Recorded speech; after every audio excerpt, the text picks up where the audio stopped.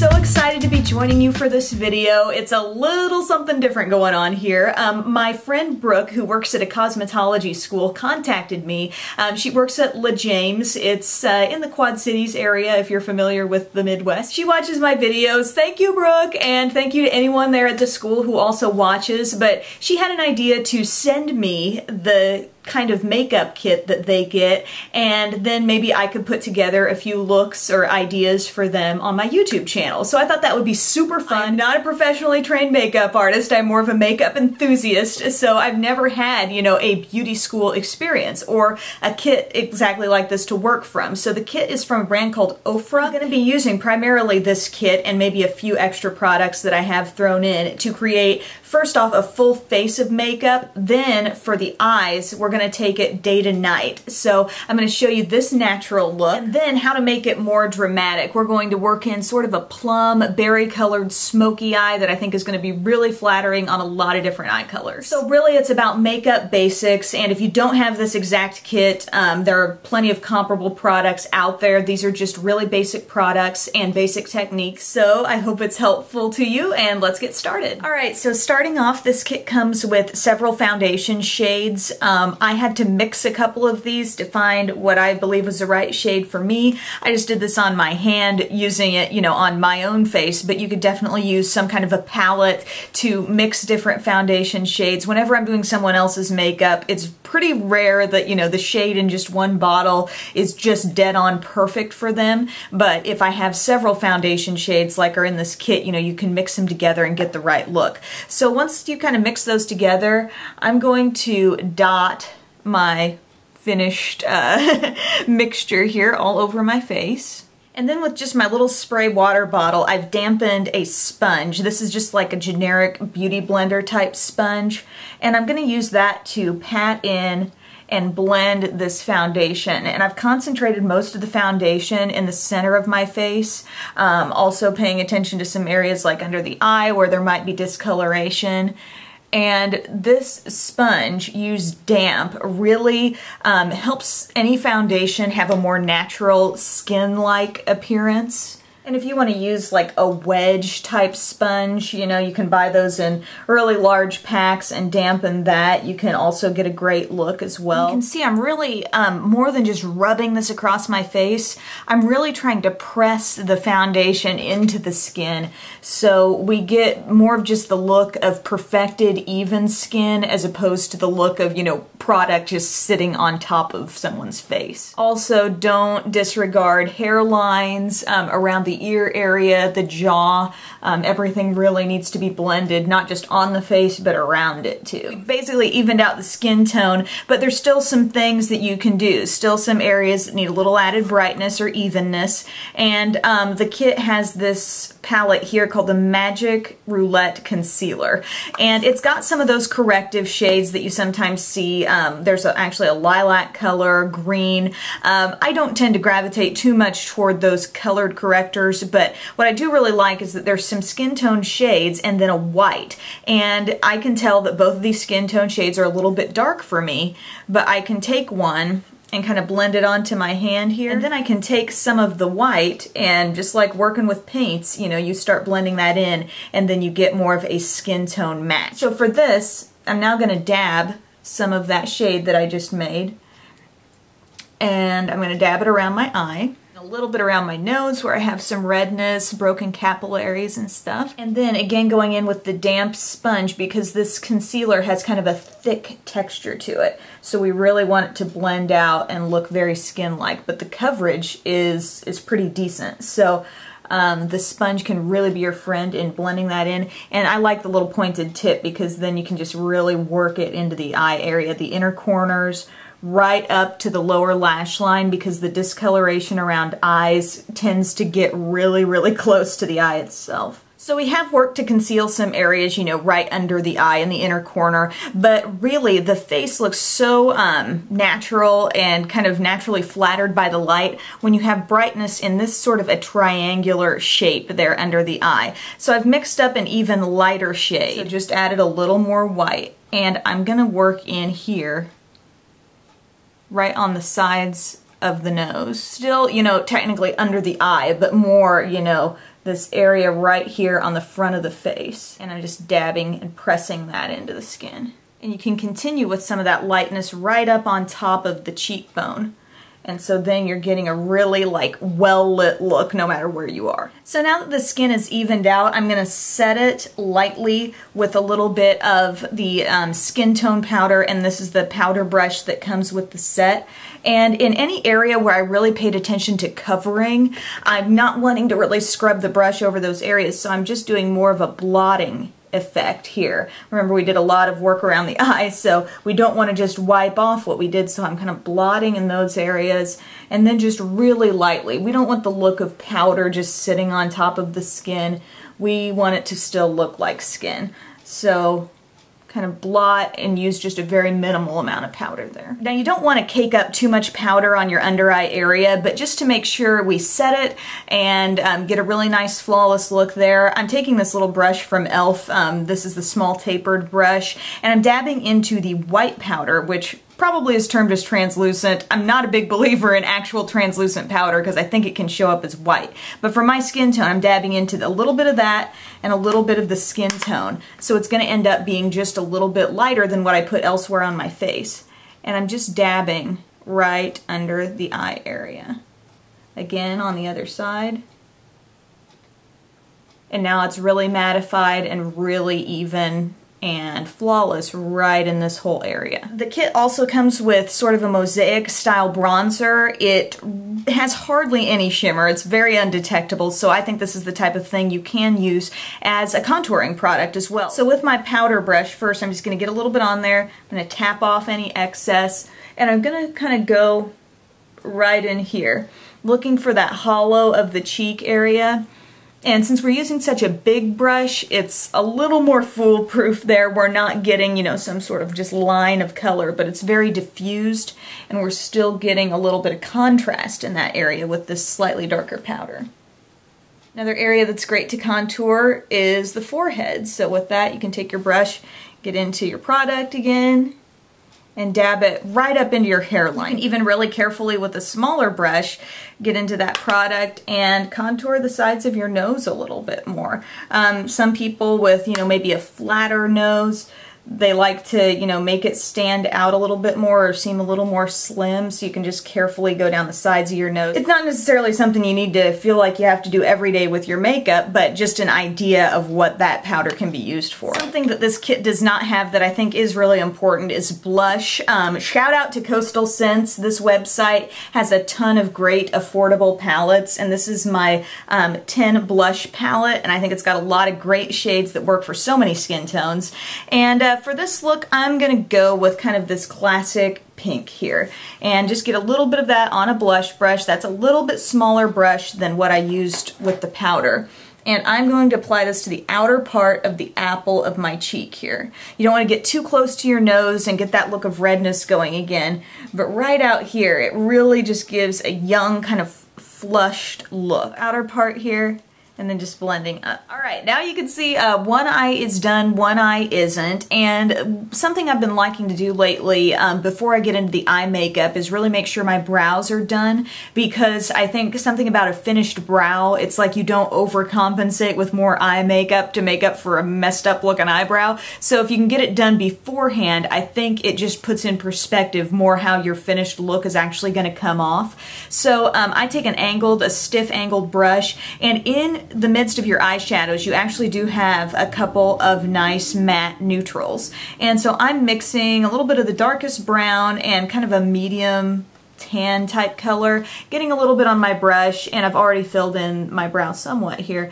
but I just go over some areas. I have naturally kind of thick brows, but I still find that they can look a lot more finished um, when some of the more sparse areas are just evened out. Then I'm taking an eyelid primer. This one's from e.l.f. It's just a dollar, um, but I think some sort of base on your lids before you start applying the eye makeup really, really helps. Uh, it helps the shadow cling, it helps it stand out more. Um, in a lot of cases, primers can help the shadow last longer throughout the day. So I'm putting that not only on my lid, but through the crease and up under the brow. Then I'm taking a flat eyeshadow brush and one of the light shades in the palette. And again, this is just gonna be basic eye makeup here for this first step. Um, it's something that could work for any occasion, something that just gives the eye some natural definition, but not too much extra.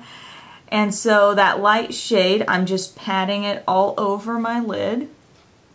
Now I noticed the kit does give you a couple of eye brushes. One is like a really small detail brush and the other is a very blunt cut um, angled brush. And this one I don't find too much use for. I don't love blending with the blunt cut brushes, but this one can be nice if you go to this lightest color and you want a little brightness around the inner corner. This is great for getting that targeted area there. So I'm going to the lightest shade of the eyeshadows it's actually a little bit like iridescent. I was sort of surprised when I first used it. So don't go too overboard with this color or it will start to look a little bit blue, um, unless that's what you want, which is fine. But um, just for the purpose of brightening that area, um, keep it sort of light. Then I'm going to go to that matte brown with an even flatter eyeshadow brush. This was the first one I used and you can see it's flat, but it's still a little bit full. This next one is even a little more targeted for the application. And so with that, getting a little bit of the brown. I'm going to pat this on the outer part of my lid. I'm really first putting my brush on the outer corner. That's where the most product's going to go is where you first put your brush.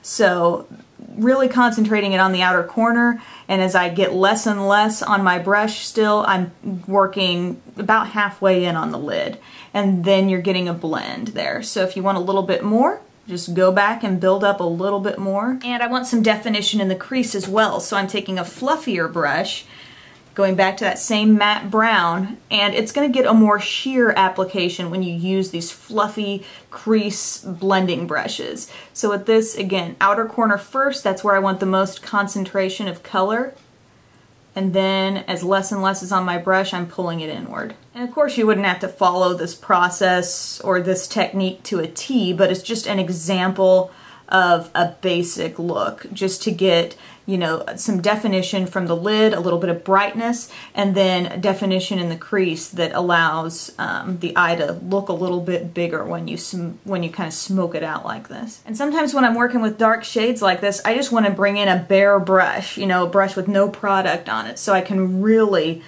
make the edge of that darker shadow look seamless. You know, I don't want anybody to be able to see a distinct cutoff. Underneath the eye, I love using smudge brushes because I feel like they give a really softly defined look to the eye. It never looks too harsh.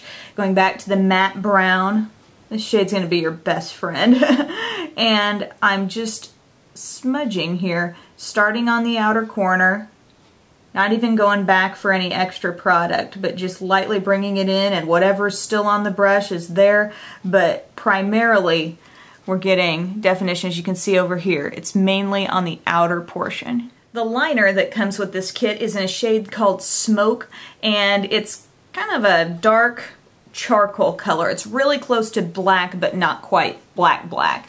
With this I'm going to go across my upper lash line. One of the hardest things I've found when doing eyeliner on other people, particularly with pencils, is that it can be hard to get right up in their lash line. You don't want any kind of gap between the lash line and your eyeliner. So don't be afraid to get right up in there. Practically feel like you're putting this on in between the lashes. It really will help with the finished effect. So there we are. You can see all across the upper lash line to give it an even softer effect. Back to the matte brown and the smudge brush and I'm just topping it off here.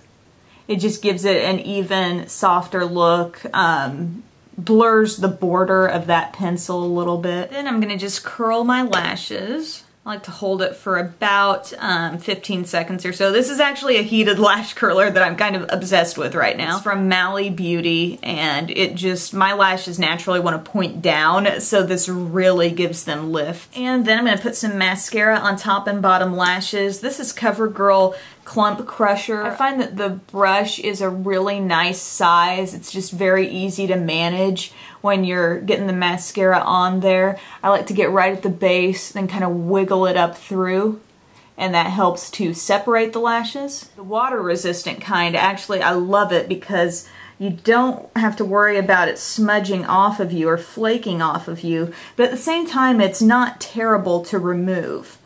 I hate taking off mascara and seeing some lashes come off with it, so this is a good one. Now the lipsticks in this kit can be a little bit dry, but I'm going to take a couple of them. Again, you could use, you know, a palette. I'm taking the one shade called Amethyst, and it's a light pink.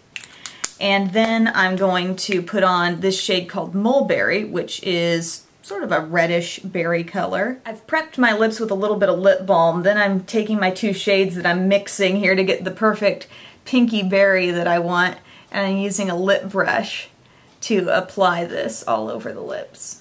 Sometimes when you're using a lip brush, you can really be precise with it and in a lot of cases you're eliminating your need for a separate lip liner because you are really just following very carefully the line of your lips. Okay, rollers out now. This is, you know, the finished look that we came up with for kind of a natural everyday look. Of course, not every day has to be a full face of foundation. There are tons of products out there, you know, that can give you a more sheer look, a lighter look, and you may not use so much concealer or whatever. But if you're going for pretty much, you know, even canvas type of face makeup and then eyes that have some definition but aren't too deep and dark, this could be kind of a go-to for you. So now here are a few fun tricks to take the eye look and make it even more dramatic for like a nighttime going out type look. Okay, nighttime eye, daytime eye. Um, really smoky, working in plum and pink. Um, you'll see we changed the lip as well. Um, I'll just go ahead and tell you what we did there. Um, I took off the pink lip and I used this shade called Mimosa. It's just kind of a neutral. I really lightly dabbed that on my lips with my finger for a nice sheer application. And then I topped it off with this Revlon gloss in Bellini. This is a Color Burst gloss, so it gives a nice, like, your lips just a little bit shinier, nice and evened out and everything. Um, we're going to take the small brush that comes with this kit and go to the shimmery mauve color. Everything was light here. Now it's going to get just a little bit deeper on the lid. That's where um, I'm going to concentrate that mauve. Then we're taking that flat brush that is really great for packing on product and I'm going to go into the dark plum. With that, I'm going to dab that on the outer part of the lid. So this kind of takes us almost a little bit darker than that dark brown was getting us here. So right in here. Then a technique I like to use when I really want lots of depth in the crease um, flip the brush over and we're going to almost get it wedged right in your crease, right there in the socket, and then really gently pull upward. And as a result, we're getting deep purple right in the crease. And I'm taking it most of the way in with that technique. While we're still on the dark purple shade, I'm going to go ahead and take my smudger brush and go into the plum and we're taking that right under the eye and we're going all the way in this time. So you may have to go back for some more product and drag it all the way in. Not totally surrounding the tear duct, but pretty close to it. So there's our smudgy, smoky lower liner. Then with a fluffier brush, we're gonna do sort of this transitional pink shade. And with that, I'm going to the really bright magenta, get a little bit on the brush, tap off the excess, and go right on the border of your purple. Um, everybody's got varying amounts of space between their eyebrow and their crease or their brow bone. Um, so just go up as high as you feel comfortable, but what's going to give you the most effect is when your eyes are open and you can see this little, you know, faded look just above. This pink is super buildable, so if you want more of a pink look, go back for more and just top it off. Then a bare brush, I'm just blending out the border of that. Same concepts apply for natural makeup and dramatic makeup. I mean, with this kind of a smoky look, you don't want harsh edges. Some looks, maybe like a real high fashion look, you know, you do want some kind of bold edge. But here, um, we're just keeping that part really blended, just as far as talking about basic makeup. Just adding a little more plum and blending it out. But the nice thing about this technique is you can plug in other shades. You could do this as a navy eye. You could plug in a forest green or any shade you really want to work with. We could do all browns and intensify what we did earlier. But um, it's just a matter of knowing, you know, depth in the crease and then use those fun mid-tone shades up in this area. How about some false lashes? That's always fun. Um, I'm going to take a liquid liner. I think it's really important when you're placing false eyelashes on the lash line to put them on a fairly thick line of eyeliner so the band that the lashes are on kind of disappears and people can't see like, oh, there's something glued to your eyelid. By the way, I have a really comprehensive false lash video. It's called False Eyelashes 101. It goes from picking out the lashes, putting them on, taking them off, cleaning them, reusing, and stuff like that. So it really addresses everything if you're interested. Um, but I'm taking this Milani Color Play felt tip pen. Uh, it's in black line. Any black liner, it doesn't have to be liquid, but I just think liquid is really quick. And these pins are just super easy. So I'm just drawing that all the way across the upper lash line. If you're feeling fancy, you could wing out the liner at the end. I'm just gonna sort of come to a stopping point here. I kind of thicken it out a bit, but I'm not necessarily winging it out. My lashes are from Eylure. They're number 107. Um, they look like this. They're um, a little bit longer on the outsides, shorter on the insides, and that, that's what gives you that kind of flared out, almost like cat-eyed look. Love using Revlon Precision Lash Glue because it has the wand, it doesn't take forever to dry, um, and you just really have tons of control with the amount of product going on the lash band. Now the key when you're applying false lashes is once you get that glue on, you want to let it get a little bit tacky. For this kind of glue and for most kinds, I usually wait a good 45 seconds um, so then when I go to put them on my eye, they really cling to the eye and I can kind of work with them as opposed to the glue being so wet that they literally just fall back off. So um, give it a little bit of time to get tacky. Don't get in the habit of blowing on the lashes to dry them off because um, I don't think clients want to see you blowing on something that's going to go on their eye. I'm going to hold the lashes here in the center of the lash, not touching the band, but I'm just holding the lashes itself um, or themselves. And then I'm going to align that with the center of my eye here. Focusing first on getting that first part put down. Then I go to the ends and I make sure that the innermost corner gets attached and then the outer corner and you're using that eyeliner as your guide. You want to place it not on your own lashes, but on the liner extremely close to the natural lashes. So once you get that on, and you can see you're probably seeing some glue, that dries and disappears. Um, if you ever feel like once it's dry it does not disappear, you can go over the liner again. I mean, it's no big deal. Sometimes like to kind of blink onto my finger and it ensures that these lashes are going to dry. They're still kind of in a drying phase now onto my eye and I want them to be definitely turned up and not down. If your lashes are kind of pointing themselves just a little bit down, it'll actually make your eye look smaller. It'll cut your eye off a little bit. And once you do feel like they've gotten most of the way dry, um, I take a little more mascara and just focusing at the base of the lash, not raking it all the way through. Um, I just dab it here and it kind of ensures that the real lashes and your fake lashes are um, kind of bonded together. And if we hadn't already done that first look, I would still, let's say you were doing this look fresh from the start, I would still put mascara on first, then the lashes, then top it off with one more coat because I feel like that initial coat of mascara gets your lashes in that upturned um, fashion that they need to be to, to even begin to blend with these to begin with. But that's just my personal strategy. Um, also, just because this is a little bit smokier and a little more dramatic, I am applying another coat of mascara to the lower lashes. Q-tips are your friend. And I almost forgot. I would have done this probably before the false lashes, but I'm taking that smoke liner again. I'm putting that in my inner rim here. So I'm just gently, ever so gently pulling down and just running this liner all the way across my inner rim.